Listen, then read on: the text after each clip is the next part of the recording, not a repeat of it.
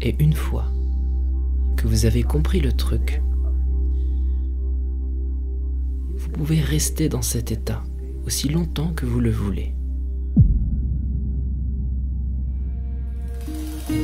Depuis le début des années 90, on a énormément parlé de méditation et de nombreuses pratiques se sont créées portant le nom de méditation, à tel point qu'aujourd'hui, l'idée même de méditer peut être confuse. Et souvent, on dit j'aimerais faire de la méditation ou je fais de la méditation. Et ma question est, cherche-t-on vraiment à faire quelque chose ou à être? Alors dans cette vidéo, je vous propose l'intervention de Osho qui va tenir un discours très simple. je sais que c'est un homme controversé, mais là, en l'occurrence, dans cette vidéo, il va tenir des propos qui sont à la fois lucides, objectifs et clairs pour tout le monde. Et nous, je vous propose qu'on se retrouve juste après pour réfléchir un peu. Je sais qu'il ne faut pas activer trop le mental, mais ceux qui réfléchissent pas n'ont pas la lumière partout. Alors à tout de suite.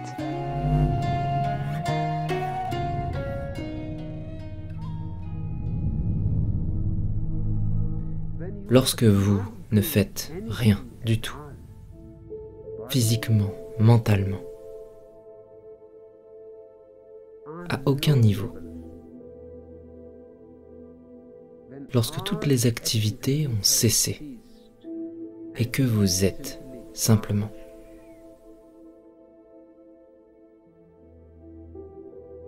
Juste l'état d'être. C'est ce qu'est la méditation. Vous ne pouvez pas la faire, vous ne pouvez pas la pratiquer. La seule chose à faire est de comprendre.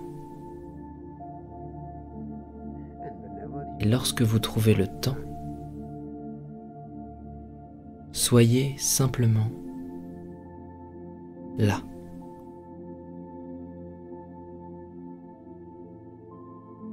Et laissez tomber le faire. Penser est aussi une action. La concentration est aussi une action. La contemplation est aussi une action. Même si ce n'est qu'un court instant, si vous ne faites rien, et que vous êtes juste en votre centre, totalement relâché, alors c'est de la méditation. Et une fois que vous avez compris le truc, vous pouvez rester dans cet état aussi longtemps que vous le voulez. Vous pouvez rester dans cet état,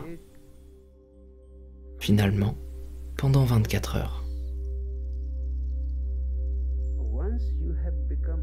Une fois que vous devenez conscient du chemin, de comment être, vous pouvez rester imperturbable. Et doucement, vous pouvez commencer à faire des choses. Restez attentif au fait que cet état ne soit pas bousculé. Ce qui est la seconde partie de la méditation. D'abord, commencez simplement par apprendre à être présent et ensuite apprenez des petites actions. Nettoyer le sol, prendre une douche. Mais en restant centré. Et vous pourrez faire des choses plus compliquées. Par exemple, je suis en train de parler avec vous.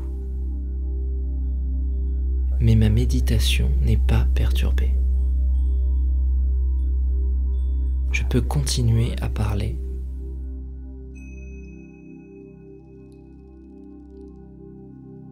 Et en mon centre, il n'y a pas la moindre ondulation. C'est un espace de silence. Un silence complet.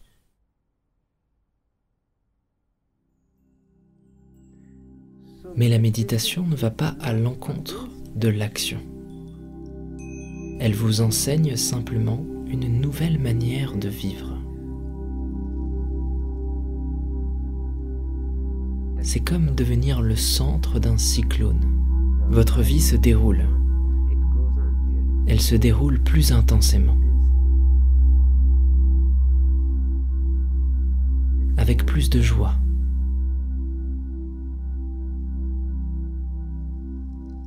Avec plus de clarté. Plus de vision, plus de créativité. Pourtant vous êtes distant, juste l'observateur en haut de la colline. Vous êtes simplement en train de voir tout ce qui se produit autour de vous, mais vous n'êtes pas l'auteur, vous êtes l'observateur. C'est tout le secret de la méditation. Vous devenez l'observateur. L'action continue de se dérouler à son propre plan, il n'y a pas de problème. Hachez du bois, essorer l'eau du linge. Vous pouvez accomplir toutes les tâches, petites ou grandes.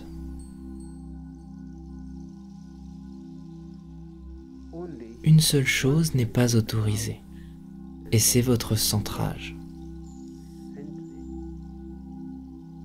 qui ne doit pas être perdu.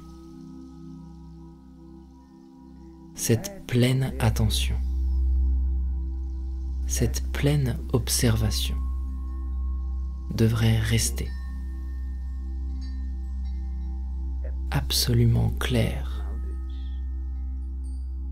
imperturbable. La méditation est un phénomène très naturel. La méditation, c'est l'art d'entraîner son esprit à la présence. Donc il y a vraiment une relation très intime entre l'idée de la présence et la méditation. Et la présence, qu'est-ce que c'est si ce n'est un alignement avec le moment présent, un éternel moment présent. Donc à partir du moment où je m'aligne avec la présence de manière consciente, je suis en fait en train de méditer. Ma méditation consiste à être en présence. Une fois qu'on a saisi cette idée, a priori, il n'y a plus de confusion possible en ce qui concerne la méditation. Et si on veut aller un petit peu plus loin dans la réflexion, on comprend qu'en fait, être en présence, c'est faire attention. Et l'attention, qu'est-ce que c'est si ce n'est le gouvernail de l'esprit?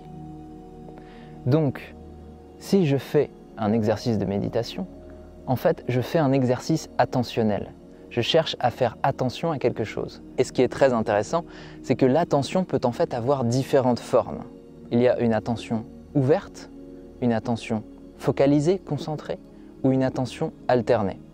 Ça veut dire que je peux être dans une posture d'accueil et accueillir tout ce qui vient, sans jugement, sans évaluation, sans tentative d'alimenter, juste je suis présent à ce qui est. Et je peux en même temps choisir de porter mon attention sur quelque chose de très précis. Ça peut être un objet sensoriel, ça peut être une pensée, ça peut être une émotion, ça peut être une vertu humaine. Et je peux aussi faire une séance dans laquelle je vais alterner les deux. Donc pendant ma méditation, je peux aussi consciemment choisir de déplacer ma présence, de déplacer mon attention à différents objets. Et à partir du moment où on a saisi ces grands principes, ce qui devient super intéressant, c'est comment on entraîne la présence. Et c'est ça le concept d'entraînement de l'esprit. Je crée un espace d'entraînement à la présence. Et je m'entraîne à choisir consciemment là où va mon attention là où je dirige mon esprit. Et peu à peu, je vais muscler cette aptitude à diriger consciemment, en présence, mon attention. Et c'est là que ça s'étend à toutes les pratiques du quotidien, parce que je peux être en présence à toutes les tâches que je suis en train d'accomplir au quotidien. Toutes les actions du quotidien peuvent devenir un objet de ma pleine attention, de ma pleine conscience ou de ma pleine présence. Appelle ça comme tu veux. Maintenant, si je te donne une dernière image pour vraiment bien comprendre les pensées, les émotions et toutes les choses qui captent notre attention de manière involontaire, c'est la houle des vagues. Et nous, nous sommes un plongeur. Et à n'importe quel moment, on peut décider simplement de plonger en profondeur. La houle des vagues continue d'être là, les émotions, les pensées, tous les mouvements de la vie continuent d'être là, mais nous, on est simplement désidentifiés, on est simplement extrait de cette houle. Ça continue d'exister, mais on est en présence, aligné avec quelque chose de plus permanent, l'éternel instant présent. Et dans cet espace, on peut retrouver une notion encore plus profonde, celle de l'équanimité. C'est-à-dire que peu importe les mouvements de la vie, agréables, désagréables, satisfaisants, insatisfaisants, douloureux, au contraire, joyeux, je reste dans une forme de distanciation. Ça veut dire que si les choses vont bien, je m'en délecte de manière raisonnable. Si les choses vont mal, je n'en rajoute pas une tonne. J'essaie simplement de rester aligné avec la présence et d'accueillir ce qui vient de manière objective, lucide et calme. Et là, on peut dire que j'adopte une posture méditative dans mon quotidien. Être sage, c'est être capable de s'extraire des mouvements de la vie pour maintenir un regard de présence, c'est-à-dire un regard calme, objectif et lucide. C'est tout. Pas un mot de plus pour aujourd'hui. Merci pour votre attention. J'ai raté. Attends, je la refais.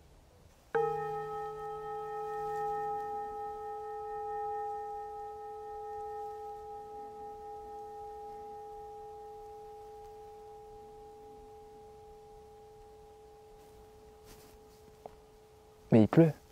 Tu leur as dit de s'abonner au mail. Non, j'ai oublié. Pas grave, ils l'entendront dans une autre vidéo. T'inquiète. Ça fait du bien. Quand t'as compris un truc, ça fait du bien. Tu dis, ah, là j'ai compris.